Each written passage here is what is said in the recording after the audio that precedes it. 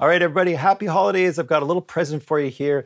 And in this video, I'm going to show you how you could use the Maschine Plus as an external effects processor for other pieces of gear. So I've got my synthesizers and they are hooked up to my audio interface. And then I'm going to use the Maschine Plus just to process the sound of those synthesizers to put on delay and reverb. And you could use other effects as well, but those are the main ones that I always find myself wanting with my external synths in the studio. This could also work in a live scenario. So you could use Maschine Plus just to process the sound of certain instruments if you weren't using it to sequence stuff. So if you were doing that, of course, you'd set it up in a different way. But what we're talking about here is literally just using the Maschine Plus as an effects processor. I found myself with all my synths hooked up with this new Arturia AudioFuse 16 rig and I just wanted some reverb and some delay at my fingertips, kind of ready to go, and decided, okay, I'll go pick up a pedal because I've been thinking about that for a long time. So I've got this pedal now, this Delverb by Universal Audio. Here's my Osmose by itself.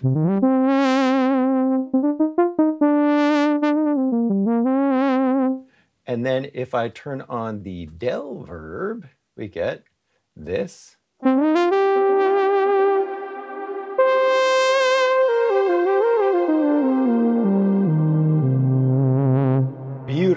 Sounds so great. But if you have a Maschine Plus kicking around, you can do the same thing with this. And in some ways, it's even more powerful. So it's kind of looking at your gear and going, how can I get more out of it, right? I kept looking at this, the Line 6 Pod Go, and thinking, if I can somehow take a stereo output out of my audio interface, bring it into this, and then take the stereo output of this and take it back into my audio interface, you know, use that as my effects processor, but it didn't work because we don't have a stereo input on this. We're so close. If we just had that, this, this thing could be so much more useful. We could use it for synths, right? So let's look at the Maschine Plus, figure out how we can use it to process signal and then save your projects. You're gonna find that you can use Raum, which is quite literally one of my favorite reverbs on the software on the computer, right? So that to have Raum on a portable device away from your computer is awesome. I love that. You know, the sound of it is, is in my opinion, rivals some of these effects pedals for sure. And then we've also got delays that we can also use and other reverbs in Maschine. We can use any of those effects, save them as a preset, and then load that up. So if you were using this in a live scenario, you could even have time delays on each separate project ready to process, right? So this one is timed and we're gonna see how it's timed as we go through it. So before I get too far into that, what do I think about the Maschine Plus right now? Should you go pick one up? They are on sale, but I don't know what the roadmap is, and I really wish Native Instruments would tell us where Maschine is going, where Maschine Plus is going, just so people who are new to this stuff can make decisions that aren't going to hurt them when something new comes out right? We've seen that debacle happen in other uh, devices in the last few months, and we just don't want that kind of scenario. So I'm hesitant to tell you to go pick up a Maschine Plus, but they are on sale and you can probably get them used. And I think they're going to hold their value just because they're something that is independent of a computer. so the hookup goes as follows. You need some kind of audio interface that can send audio out so you're going to have to have more than just your stereo output to your speakers. So I've got it set up so my synth goes into the audio interface. I've got the output of the audio interface going to the input of my Maschine Plus, and then I've got the output of my Maschine Plus going on the back to the input on my audio interface. Now what I can do is set up those connections to be an auxiliary uh, send. So if I go over to my AudioFuse Control Center and every software program is going to be a little bit different. So this is where it gets a little bit confusing. But I can set it up over here through the routing matrix. Some of them are actually even simpler in some ways than this. But I've got Maschine Plus left and right outputs right here. And they are going now, they are being routed to the auxiliary 3 and 4. So auxiliary 1 and 2 is my Delverb, and auxiliary 3 and 4 are now going to the Maschine Plus. So what that means is if I go over to the Mixer tab now, and I go to Auxiliary 3 and 4, the more I crank this up, the more of the synthesizer signal goes to the Maschine Plus. And the more you crank that up, the more reverb you're going to hear. This is just how any effect has ever worked. And we've only got one set of inputs and outputs here. with Maschine Plus. There isn't a way for us to process maybe a different channel with different effects. But what I'm going to show you is that you can use multiple effects and have them all ready to go here. So we've got Raum ready to go, we've got beat delay ready to go, and we've got a metaverb ready to go. And all you have to do is go shift bypass if you don't want to hear one of them. So if you decide you don't want delay either, just go shift bypass, no delay. Take it off. Right? So you have total control over which effects you've got and if you want more of one or less of another, go over to the mixer. So I could just go simply turn down the delay here.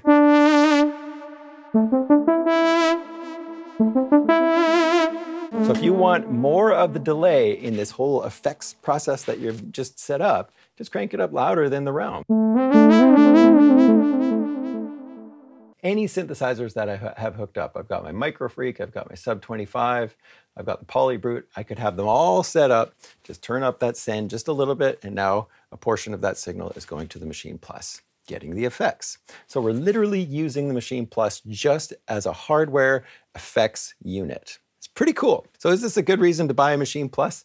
Of course not. But if you think about the cost of an effects unit, I spent $400 Canadian on this Delverb, you can spend $1,100 on a Maschine Plus, but if you start thinking of other ways you could actually use the hardware, maybe you have these dreams of playing live all the time and they don't pan out, and so your hardware sits there for a little bit, well, start using it in other ways, because yes, it could be more powerful, and hopefully they give us something new in the future, but if you got one kicking around, tap into it. So now let's talk about setting up the Maschine Plus from scratch. So follow these steps closely because if you miss one, it's not going to work for you. So I'm going to go and start a new project. And first off, what you're going to do is head on over to the first sound slot on your first group. And in this sound slot, we're going to place an effect. Go to Effect, and here's the coolest part about this. Not only can you use just the basic effects that come with Maschine, but you can also go over to VST effects, and we can see that Raum is in there, one of my favorite reverbs so we've got Raum placed on this slot number one. Next thing we need to go is to the channel settings. You need to set the input at the source level. So you go sound, audio, this is on page one, and you're gonna say source is gonna come in from input one left and right. And that's gonna be the, the default inputs on the back of the Maschine Plus. We're gonna set up more than one effect on sound slots here, so don't forget to do that for every sound slot that you do this whole little trick on. And that's it. Once you've done that, now what we can do is go over to the plugin button. And if I turn that up, we can see that now signal is coming into the Maschine Plus. So we don't have to do anything else at this point. We don't have to worry about the sampling thing, which would normally be worrying about in terms of monitoring and hearing the signal. I think it's because when we go to the channel settings here and go to sound and input, as soon as we do that, we are going to make this connection live. If I set it to none right now, it doesn't matter how much I turn this up, none of it is going into this sound slot. So as soon as I set this to in one left and right, now we get to hear the sound of that reverb. So let's go over to the reverb and have a, have a listen to this. Another thing we should do on every effect that we put on is change the mix to 100%. So you're hearing 100% uh, of the signal going through Raum. Now let's add some more effects because the other kind of effect that you're going to probably want to put on your synthesizers is delay.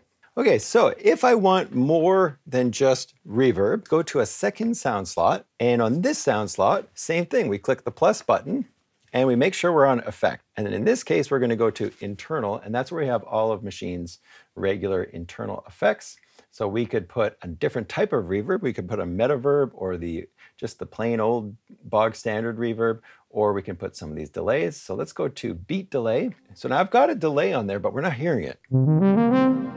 And that's because I need to go to channel and go to audio source and go in one left and right because I need to make sure that that signal is running through on this channel as well as on the other one. So now I've got delay and the coolest part about this, when you want to set the delay time, is that you can set it to beat divisions. On the Delverb, you got to tap it in or go to an app, and it's just bit of a pain, right? I can go in and be very precise with it. If I can, if I click on tempo here, I can just go right in and set the tempo to exact numbers if I want, right? So I can go to 70 beats per minute or whatever, have it line up with some other project. It's just brilliant.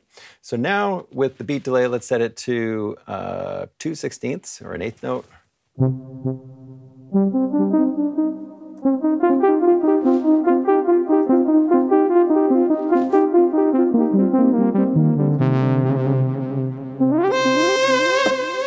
We go. So now we've got time delay really cool. I hope you guys are seeing how cool this is. And then what I would probably do is go to another sound slot, set that one to audio source input one and left, left and right.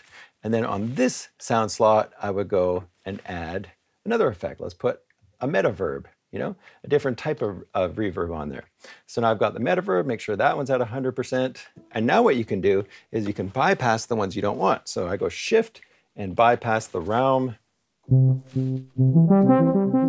and now all we're hearing is the metaverb.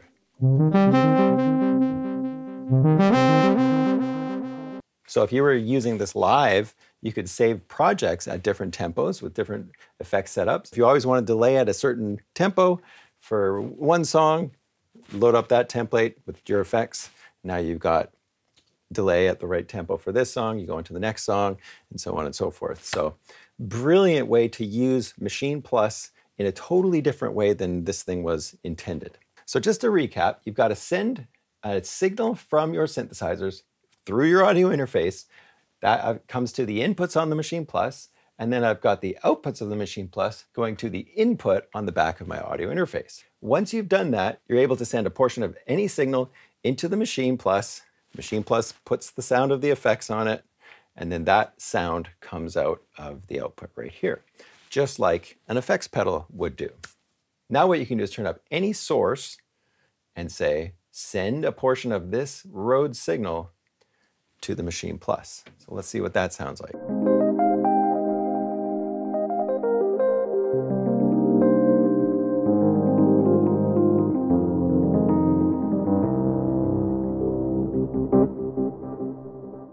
All of my gear now could be hooked up to this and ready to go at any point. So it kind of defeats the purpose of having a Delverb. Am I going to get rid of it? Of course not. It's, you know, this I think was going to help somebody out there who's just looking for a similar thing that I was, you know, an effect processor for your live gear.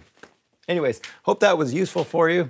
And uh, if it was, you know, just leave me a nice comment and hit the like button and the subscribe and all of that nonsense. And have yourself a great holiday and you know whatever you're celebrating. And thanks so much for all the support you've shown me over the last year. Lots of exciting stuff coming up. I am not working as much on the video game now so i'm going to have more time for fun videos like this you know production tips and i'm working on some jazz tunes and jazz hip hop kind of stuff. I'm going to be doing videos about that.